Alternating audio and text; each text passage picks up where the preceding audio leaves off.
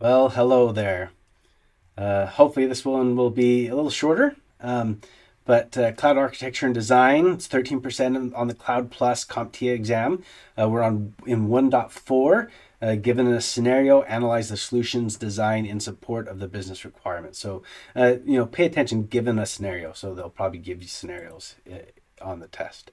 Okay, so requirements analysis. what software is needed? Okay, uh, what hardware is needed, CPUs, memory, storage capacity, uh, integration, how, what are the touch points, how does it interact with other systems, uh, budgetary, can we afford it?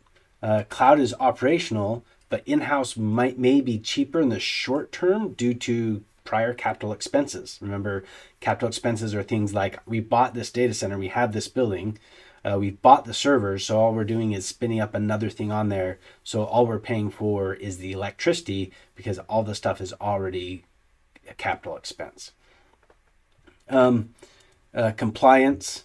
Uh, uh so are there things that we need to worry about, such as can data be stored in this or uh, country, or is there country rules that require us to store it elsewhere? Um, service level agreements what to expect from who, how fast, and, and during what times.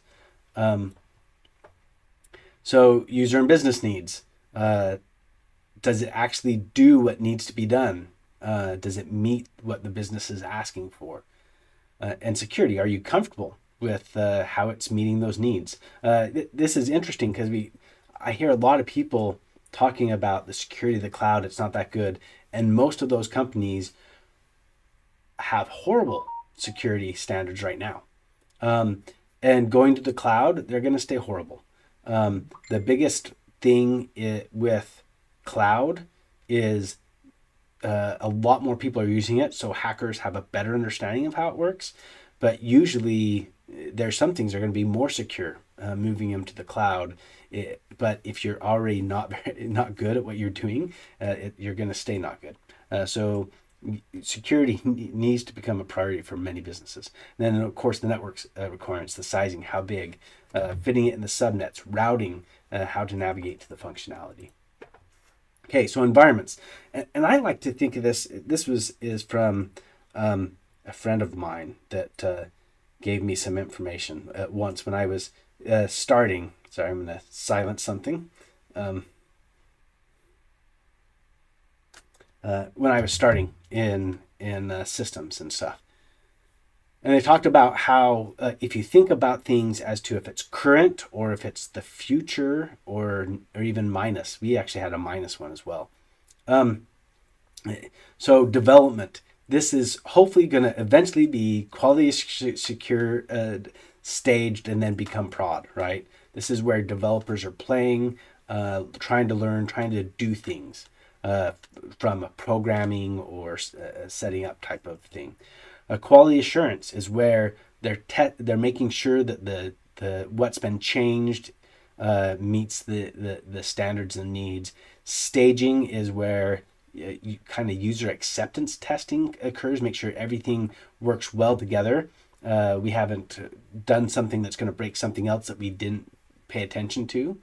Uh, blue green this is interesting because you can have current and the future version at the same time, and you can even send traffic to both if you would, if you like, so you can see if there's errors and stuff. Um, in that case, the anything going to the green would have to also be updating the production database if there's a common thing behind the scene. Uh, production, what most people currently see, it's a current and disaster recovery, which should be current. And hopefully, we never need disaster recovery, but we need to test it because if we do need it, we'll be really sad if we don't have it. Um, and then testing techniques. So, vulnerability testing. Um, is there an issue with our systems that is that we know about? Uh, penetration is when you have someone testing for vulnerabilities um, and and actually trying to get in. Uh, performance testing is trying to see if um, our our system can meet the the people coming at the speed that they come um, and is it is it going to continue to reliably give people the experience that we would expect it to give um, regression testing Uh, do we have, um, is it going to break something else? Uh, something that's already there, moving this new thing forward? Is it compatible? Uh, uh, functional testing. So, does it do what we said it would do? Uh, and usability testing, even though it does it, does it do it in a way that is usable? Um, so, because sometimes we do things in, in a really weird way, and if we just changed it slightly, it'd be so much better. So, um, does it does it meet the the usability needs?